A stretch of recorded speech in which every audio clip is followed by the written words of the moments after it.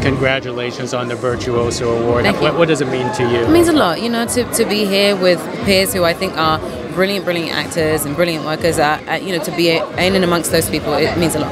Be And before and before I let you go, you have done a lot of movies with singing. Is that a requirement for you now these days? no, not really. I just do whatever feels right. Uh, you know, it, if it feels good, then it feels good. Yeah. Excellent. Hey, congratulations. Enjoy your night tonight. Thank you so much. You Thank too. you. Take care.